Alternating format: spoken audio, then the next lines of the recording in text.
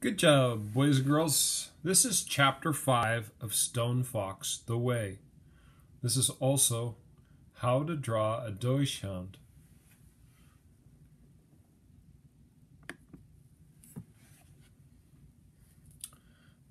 The next day, little Willie met the situation head on, or at least he wanted to, but he wasn't sure just what to do.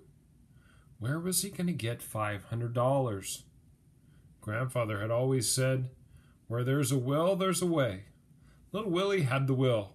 Now all he had to do was find the way. Of all the stupid things, cried Doc Smith, not paying his taxes? Let this be a lesson to you, Willie. But the potatoes barely bring in enough money to live on, explained little Willie. We went broke last year. Doesn't matter. Taxes got to be paid, whether we like it or not. And believe me, I don't know anybody who likes it. Then why do we have them in the first place? Because it's the way the state gets its money. Why don't they grow potatoes like grandfather does? Doc Smith laughed. They have more important things to do than grow potatoes, she explained. Like what? Like taking care of us? Grandfather says we should take care of ourselves. But not, not all people can take care of themselves, like the sick, like your grandfather. Well, I can take care of him. He took care of me when my mother died. Now I'm taking care of him. But what if something should happen to you? Oh, little Willie thought about this. They walked over to the sled where Searchlight was waiting. Doc Smith's high boots sinking into the soft snow with each step. Willie brushed the snow off Searchlight's back. Then he asked, Owing all this money is the reason grandfather got sick, isn't it? I believe it is, Willie, she agreed. So if I pay the taxes, grandfather will get better, won't he? Doc Smith rubbed the wrinkles below her eyes. You just better do what I told you before. Let Mrs. Peacock take care of your grandfather and. But he will. He'll get better, won't he? Yes, I'm sure he would, but child, where are you going to get $500? I don't know, but I will. You'll see. That afternoon, little Willie stepped into the bank wearing his blue suit and his blue tie. His hair was so slicked down that it looked like wet paint.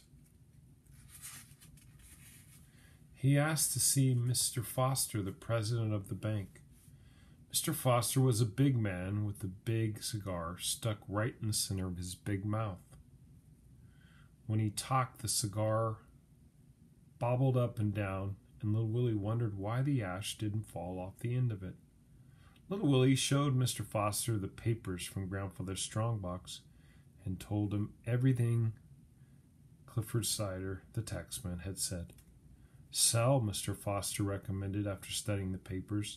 The cigar bobbled up and down. Sell the farm and pay the taxes. If you don't, they can take the farm away from you. They have the right. I'll be 11 next year. I'll grow more potatoes than anybody's ever seen. You'll see. You need $500, Willie. Do you know how much that is? And anyway, there isn't enough time, of course. The bank could loan you the money, but how could you pay it back? Then what about next year? No, I, sa- uh, I say sell before you end up with nothing. The cigar ash fell onto the desk. I have fifty dollars in my savings account. I'm sorry, Willie, Mr. Foster said as he wiped the ash on off onto the floor. As little Willie walked out of the bank with his head down, Searchlight greeted him by placing two muddy paws on his chest. Little Willie smiled and grabbed Searchlight around the neck and squeezed her as hard as he could. We'll do it, girl. You and me. We'll find the way. The next day, little Willie talked to everybody he could think of. He talked with his teacher, Miss Williams. He talked with Lester at the general store. He even talked with Hank, who swept up at the post office. They all agreed. Sell the farm. That was the only answer. There was only one person left to talk to. If only he could. Should we sell? Little Willie asked. Palm up meant yes, palm down meant no. Grandfather's hand lay motionless on the bed. Searchlight barked. Grandfather's fingers twitched, but that was all. Things looked hopeless. And then little Willie found the way. He was at Lester's general store when it happened, when he saw the poster. Every February, the National Dog Sled races were held in Jackson, Wyoming. People came from all over to enter the race. Some of the finest dog teams in the country were represented. It was an open race. Any number of dogs could be entered, even one.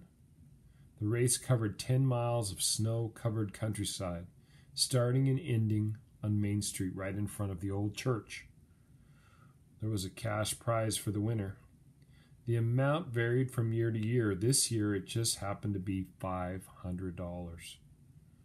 Sure, Lester said as he pried the nail loose and handed little Willie the poster. I'll pick another one up at the mayor's office. Lester was skinny but strong, wore a white apron, and talked with saliva on his lips. Gonna be a good one this year. They, they say the mountain man, the Indian called Stone Fox, might come. Never lost a race.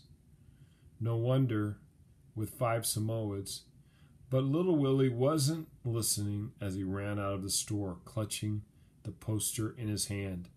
Thank you, Lester. Thank you. Grandfather's eyes were fixed on the ceiling. Little Willie had to stand on his toes in order to position the poster directly in front of Grandfather's face. I'll win, Little Willie said. You'll see. They'll never take this farm away.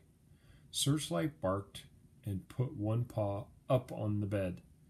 Grandfather closed his eyes, squeezing out a tear that rolled down and filled up his ear. Little Willie gave Grandfather a big hug, and Searchlight barked again. Okay, good job. Four plus six is ten. That's the end of chapter five. Good job, boys and girls. Chapter six tomorrow is called Stone Fox.